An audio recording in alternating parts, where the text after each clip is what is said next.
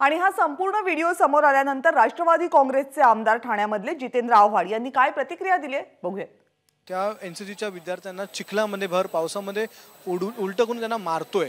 का बा- आपल्या ठाण्यातलंच कॉलेज आहे काय? ते माझंच कॉलेज आहे मी त्या कॉलेजला गेलेलो. हा कोण विकृत शिक्षक आहे मला कळत नाही.